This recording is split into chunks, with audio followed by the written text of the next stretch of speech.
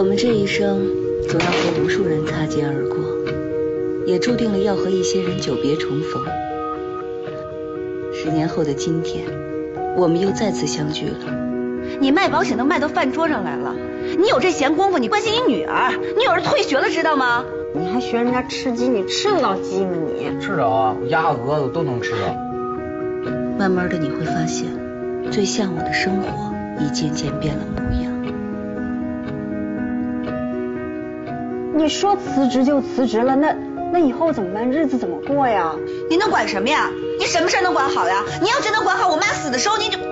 我该怎么做才能让你心里过了这道坎儿啊？萧强，你一中年老空姐，你股票卖不出去，你保险也卖不出去，你是不是对成功的定义有什么误解？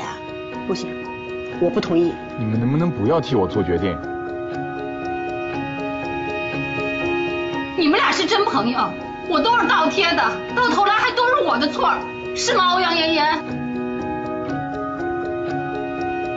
有时候人就是这样的，走着走着，在某个岔路口就会走散。像你这样三心二意的孩子能不丢吗？那是我孩子，在哪儿呢？别吵了！我原本以为家是避风港，现在我这避风港一百二十级台风了。如果你知道长大后是现在这个样子，你还愿不愿意长大？你自由了，我也自由了。一时间，我忘了黑夜还是白天，我忘了亲人朋友还在身边，人生不知。司机长，这是谁啊？也不给我们介绍一下啊？有情况呀！不管你遇上任何困难，还有我，还有我的肩膀，可以让你随时依靠。婚姻就是一份承诺。两个人把承诺给了对方，就要遵守，无论发生什么，都要携手走下去。这话我在百度百科上也能查着。咱仨同居在一起，就是上天的安排。我觉得婚姻最重要的还是陪伴。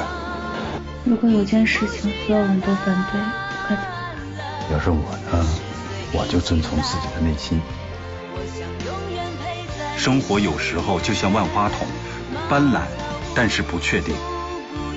但只有感恩生活，珍惜当下，爱你所爱的人，你才会有属于自己的幸福。